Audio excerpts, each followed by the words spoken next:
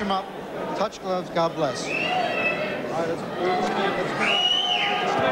Well, Shea Neary, there is just a little bit of a doubt about that broken right hand he had in the last fight, whether that has properly healed. I think, though they've not said so publicly, we can say it now that the fight is about to start. One or two worries whether that uh, is okay now. Let's look how much he throws that right hand, Glenn. Yes, well, he'll only know himself when he gets in the fight. I'm sure that there'll, there'll always be doubts when you've had hand, probably that's going to reoccur, but he'll just know when he lands it. Almost sprinted out of his corner, Neary, who is an all-action type of operator, this ex-soldier. There's a bit of the Nigel Benner out about him, and he's looking to make his power count early on here. Gets through with a right hand as well, looking to catch this Jeremiah Malinga by surprise early on. Malinga responds pretty well to it. Well, I think that's why he's got such a, a good following. He's a real all-action type fighter with real value for money, Neary. And he always wants to, to put on a show, and he's already getting through. Oh. He's put on a show with that shot, all right. The left hook. Malinga, will he be able to go on? It's only the first round. He was up very, very quickly. Steve Smoger takes a look at him. He's been operating as a lightweight before at round nine stone nine. Here he's up against a full-blown light welter. And these punches are hurting him. He'll do well to get through this round. Neary is letting these punches fly, and how?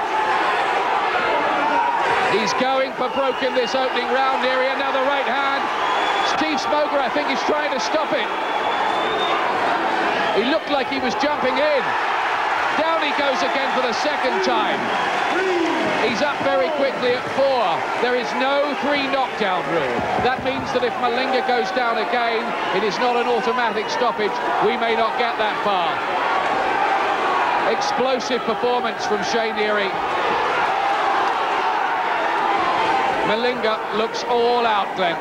He really did. The power's really telling from Neary. Malinga's bravely trying to fight back, but he's just too too much strength Neary has. There's the right hand. There was no worries about it there. Another left hook. Some referees would have stepped in already. Malinga is fighting on instinct. His legs are rubber. His eyes are in orbit. He hardly knows where he is in there. And look at the way he's turning this around. What bravery by this South African. Yes, he's very, very brave. He got through with a couple of decent punches himself.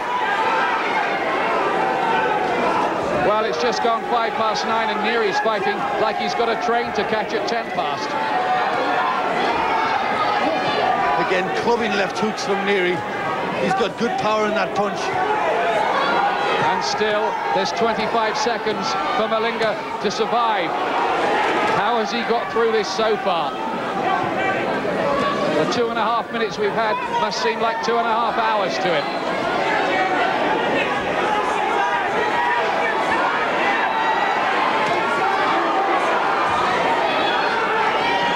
And look at this South African comeback. What bottle from him. What grit. What guts. That was some opening round. Oof. And the fans who paid up to £60 for their tickets here have already got their money's worth in one three-minute dose. Have you got a mint? A mint? Try this, it's even better. Hmm, Wrigley's Extra. Chewing gum. This is good. I guess they call them extra because they're extra minty. Yeah. Extra cool. Yep. Extra flavour. Yeah, but the real extra is chewing is good for your teeth. Brilliant. And they're mine. Wrigley's Extra Sugar-Free Gum. Great for your teeth and all the great taste of a mint. There you see, got all his power into that left hook. He went down hard, Malinga, but jumped straight back up. It didn't look as if he was going to get through it after that punch, but he came back so well, even at the end of the round, having Neary on the corner, on the ropes. Here it is again, just another angle. He really got some power, really just got his way, twisted at the right time. And what a beautiful punch. 10 seconds, corners. There's the second knockdown. There's another left hook. And you would have given long odds against Malinga getting through the round at that point. very, very brave, and he, know, he did so well to get through it, and then so well to try and get Neary on the ropes and punch back at the end of the round. Well, this Shea Neary is super fit. I was going to ask the question whether he might have punched himself out, but I don't think so.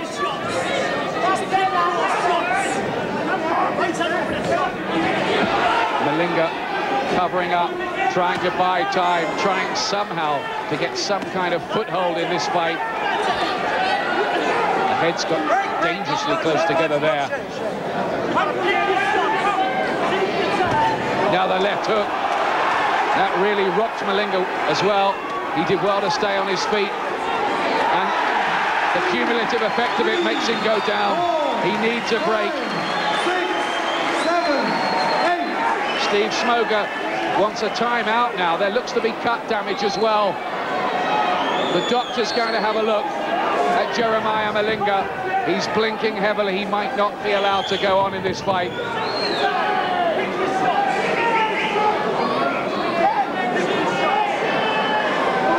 Cuts. And they're letting Malinga go on. It must have been touch and go, that decision. It must have been. They, have allowed the doctor to come in and have a look. I'm not sure whether he got a thumb in the eye or, or whether there's a, there's a, cut there. But he certainly he's disturbed. Another good left hook from Neary. It does look only a matter of time for Shea Neary before he retains his version of the light welterweight crown. Another uppercut. He just can't take this power the weight differential is hard enough at the best of times, but when you're in with a man who can punch like Neary... Malinga's certainly very game. A lot of lesser fighters who wouldn't have took this amount.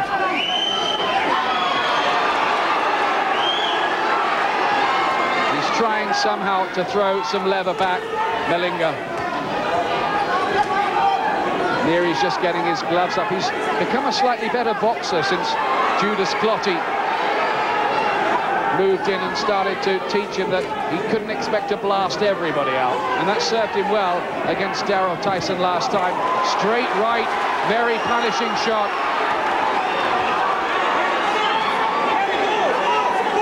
Courage beyond the call of duty from Jeremiah Malinga. Got to try and measure measure Malinga a little more, just not have so ragged work, and he'll find the punch. Neary just can't quite finish the job at the moment, but we may only be seconds away from that. There's blood around Neary's left eye as well. I'm not sure if it's rubbed off or if he's got a cut. Another heavy, meaty-looking left hook from Neary, who breathes a little heavier. He's thrown an awful lot of punches already. He's still got enough of his wits about him, Malinga, to get on his bike. He's doing well to survive. Well, how is he doing it, this South African? How is he staying in there? Some of the action, he's very eager near, he's just missing with a couple of shots there. He's just a little better when he uses his jab and looks to measure his punch. That's why he's had a success with the left hook. The word from the referee, by the way, is that the cut was caused by a punch. It's not an accidental clash of heads or anything like that. So if the cut forces an early stoppage, that will be in Neary's favour. They won't go to the scorecards. Third round. Miracle it's got this far. Liverpool fighter, again, really exciting his growing legion of fans on Merseyside.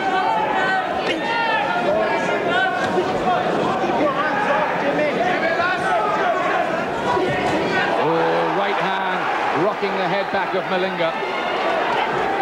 Nearly measured the punch as well. He got him on the end of the jab and then put them two together. But again, Malinga fights back bravely.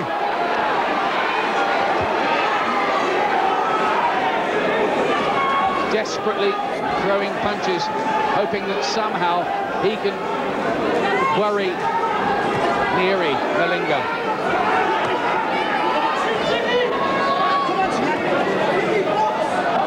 Now this is quite a comeback. isn't it, by the South African? Yes, he's thrown lots of punches, but Neary's doing all right in there. He's holding his hands up. He looks, you know, he's relaxed. He's watching, watching the punches, looking for his own space. Of course, the problem for Malinga, he's throwing a lot of leather. Will he leave a gap for a counter shot? That's what Neary is waiting for, I'm sure.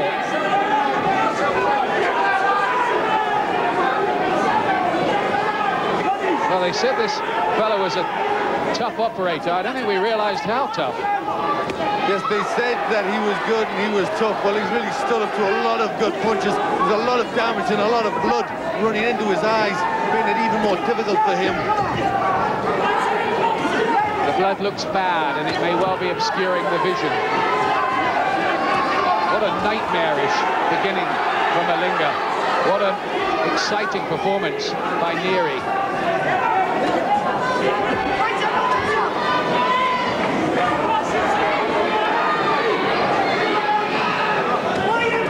Covering up well, Neary.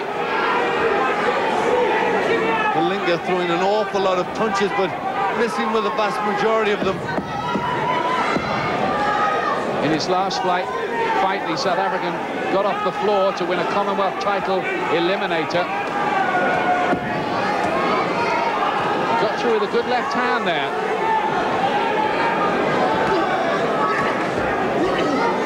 Neary, who's trained long and hard for this one. There was a previously projected date for it, so the preparation's been longer than usual. And he is uh, a manic trainer.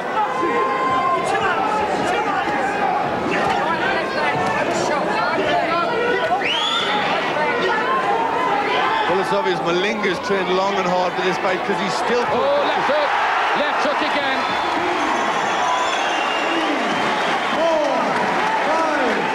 He got up with the count at about four. The count's at eight. Is he going to be allowed to go on? No, he isn't. It is over in the third round. Shea Neary has retained his WBU version of the light welterweight championship in three frenzied rounds here. A good performance from Neary. He really he was tough in there. He just kept the pressure on. The left hook always looked a punch that was going to do it. And he finally got the, the right shot in there. Well, Malinga coming himself with, with pride. He was very, very brave and how he managed to stand up to so many punches and still carry on trying to fight back.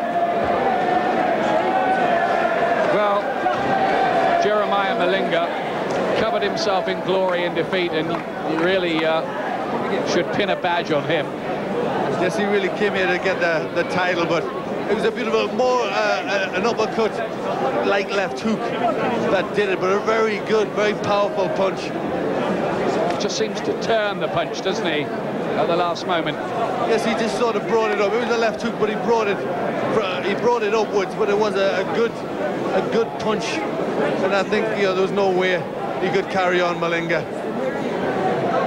It's another glory night for Shea Neary, and he might be winning a few more sports polls, and uh, it's about time, really, that he started to get some more nationwide recognition because we do have a world-class light welterweight here. We do, and I'm sure he will because he's an exciting fighter. I think people will like to watch him. You see the following that he has, and I'm sure the following will only get bigger. Just think about it. Shea Neary against Julio Cesar Chavez in some huge arena. Maybe you have to put up a big tent on the Albert Dock or something in Liverpool. That might sell a ticket or two, mightn't it? Sure it would. That would, that would really be a terror, wouldn't it? Because both of them like to fight. Neary you know, he, he can throw a good jab, but he, you know, he likes to get in there. He likes to give value for money, and he's a real, you know, he's a real fighter. Well, they say he'll fight anybody, and he may not get the worldwide recognition until he fights one of the more established champions like a De La Hoya, Kostya Tszyu, Khalid Rahilou, Giovanni Parisi. Let's get the official announcement here. Ladies and gentlemen, at the end of the third round, referee Steve Smoger stops the contest. The winner and still undefeated, World Boxing Union. Light welterweight champion of the world, Shea, the Shamrock Express, Neary. Ladies and gentlemen of Liverpool, would you please show your respect for a very game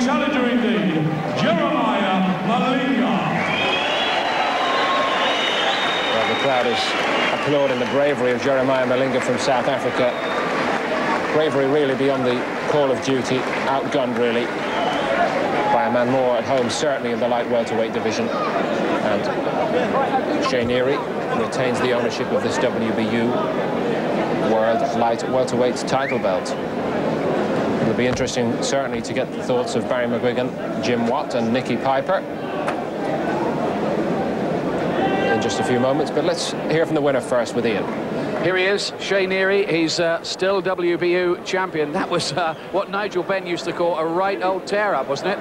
Certainly was, uh, Ian. It was um, hard fight. And knew he, you know, he's, look at the reception he's getting from the fans. He's coming here. he hasn't come in here to uh, lie down. He's uh, come to give a game performance, and that's what he's done. What a brave, brave man. You must have thought you were never going to put him away, and you were hitting him with everything. He kept coming, he kept coming back, like.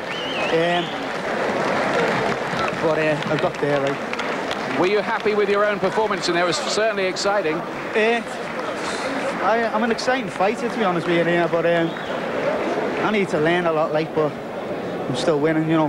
What do you need to learn? A lot. Judas will tell me. I don't know it, otherwise I would have done it in Mary. You know. Your trainer, Judas Clottey. So, um, what would be the future for him? We've got John Hyland here. Um, this Liverpool thing, the Mersey beat's getting louder, isn't it? Well, thanks very much to Sky and, and to all this Liverpool public who have backed us all the way. But I'd like to just say what an incredible interview he's just give. He's such a modest fighter. I think he's had everyone standing on the heels and he's just said he's got a lot to learn. Listen, this fighter will fight any light welterweight in the world. He's proved he's world class in the Tyson fight. Again, he's, he's done a, a, fantastic performance. He's a strong fighter.